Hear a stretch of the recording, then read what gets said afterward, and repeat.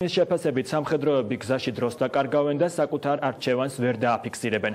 ბრალდებას პასუხობენ თავდაცვის სამინისტროში და განმარტავენ, რომ სპეცუბნების გაუქმებას არანაირი ნეგატიური ზეგავლენა არ მოუხდენია სამხედრო მოსამსახურეებზე. საარჩევნო უფლების გამოხატვის კუთხით, რადგან ცვლილების შედეგად სამხედრო მოსამსახურეები ხმას აძლევენ რეგისტრაციის ადგილის მიხედვით, ხოლო ის მოსამსახურეები, რომელთა სამსახურის პირობები ან ჯანმრთელობის მდგომარეობა მოითხოვს არჩევნების დღეს მათ ყოფნას რეგისტრაციის ადგილიდან განს განსხვავებულ მისამართზე, რომელიც სხვა საარჩევნო ოლქს მიეკუთვნება.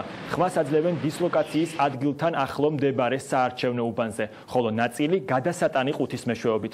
ხოლო ის სამხედროები, რომლებიც ცხოვრობენ დისლოკაციის ადგილიდან შორს, არაერთი მათგანი, არც ერთი მათგანი არ დარჩება ბაზაზე, ხოლო საარჩევნო დღის წესრიგი ისეა შემუშავებული, რომ საარჩევნო დღეს ადგილზე დარჩენილმა ყველა სამხედრო მოსამსახურემ შეძლოს არჩევნებში მონაწილეობა. Thank you.